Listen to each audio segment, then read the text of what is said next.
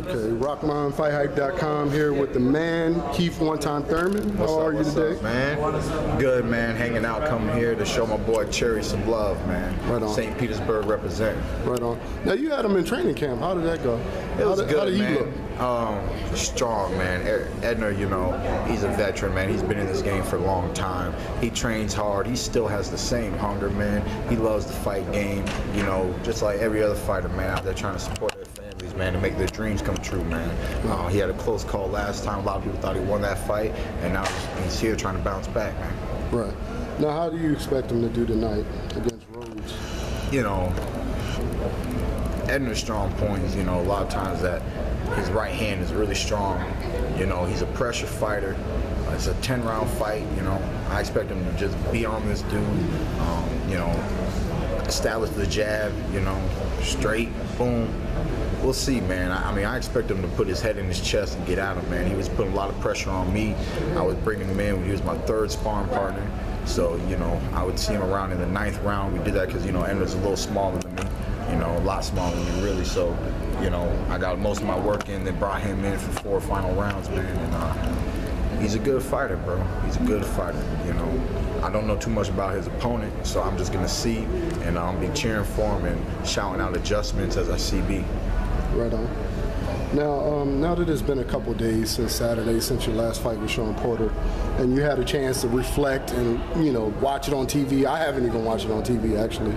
Um, how do you critique that fight? Well, I haven't actually uh, watched it on TV yet myself either, like you, man. But um, for the most part, I was in it, so you know I might be able to see just a few things, but I know what was happening. You know, um, I was on I was on the ropes. You know, a lot of defense, defense, defense, tight. There are moments where I decided to walk him down, push him back, and do what I normally do, man. I, you know, fight's not going to be one-dimensional unless if I really want it to be one-dimensional. Otherwise, it's going to be like tug of war. It's a little give, little take, little give, little take, Right. and y'all got a lot of that that night. You know, um, it was a great fight, very competitive fight, and um, my game plan was to use that defense and use my crisp punching with my power punches to separate me from Shawn Porter, and that's pretty much what we did that night. Right. Now you've stayed in one spot more than you know I've ever. I feel like I ever seen you Stay. Yeah. So was that like a dumb down of your skills just to please the fans? I know you paid homage to um, Ali at certain points, but uh, do you think that you could have made it easier on yourself? um, with, there is a way, you know, it would have been it would have been less entertaining. It wouldn't have been as action packed. But another thing is, you know, I predict that they were gonna predict that I was gonna run, right? So he had a lot of footwork on cutting off the ring, doing this, doing that, and it would have been a big battle. I would have had a pivot, move. You know, I could have I could have blocked, held more. You know, done different things. I didn't want I didn't want to use the other strategy. Right. I knew that, come on, bro, you want to bring it? Bring it. Give me that onslaught. I'm gonna take it like a true champion does, and I'm going to overcome it. You know, it wasn't the prettiest of victories, but it was a path and a road to victory nonetheless.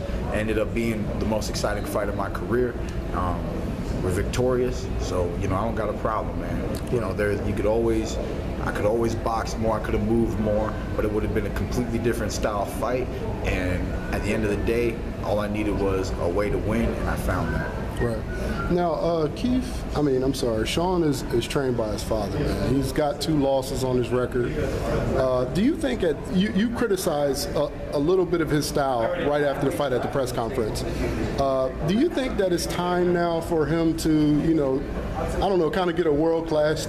Well, not that his dad is a world, not that uh, his father is a world class as a trainer, but do you think at some point these guys have to kind of, you know, move on, you know, to try to learn or do something different?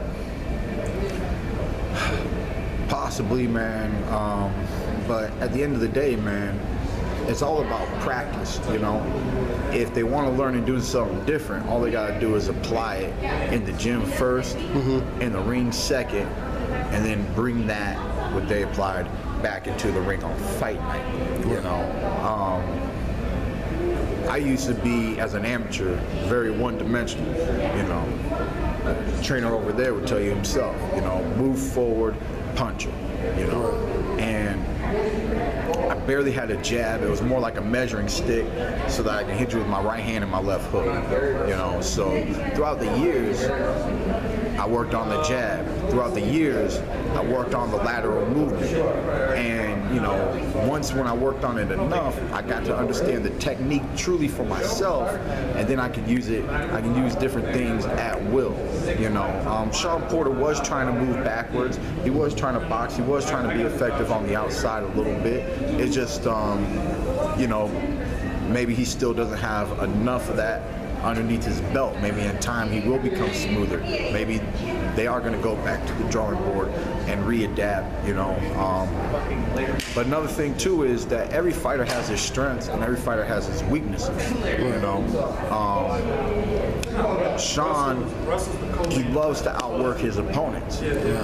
But if he wants to continue with that style, he's going to need to continuously outwork them, but find the angles to make his punches more effective and not treat his opponent like a punching bag standing in front of him. Yeah, exactly. You know, so Yeah. so so there, there's a lot of different things that a fighter can do.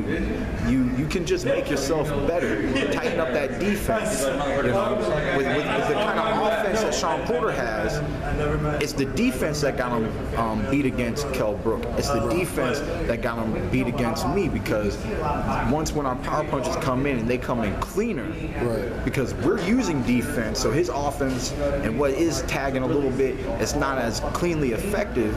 You know, it's not popping through, making our heads shift around as much. You know, if he had a tighter tuck sometimes after throwing those, putting the hands back up, having the padding up against his face, you know, uh, maybe a few combinations wouldn't be getting through, which would let the judges be like, well, you know, this guy did at one point he did try to fight back. It wasn't enough. Shawn got the best of him. Shawn got the best of him. You know, so there's there's options, man. There's definitely options in the sport of boxing.